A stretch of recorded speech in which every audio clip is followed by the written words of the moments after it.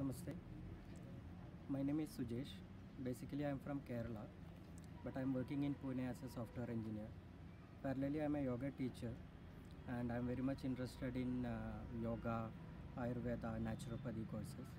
So my friend suggested to uh, do a naturopathy course in Manavseva Paramedical College.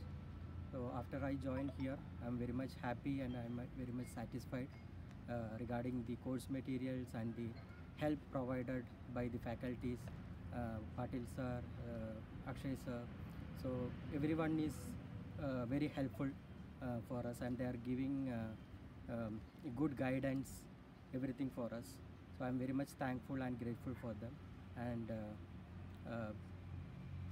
yeah, that's it only. I'm very much happy with Manavseva College. Thank you.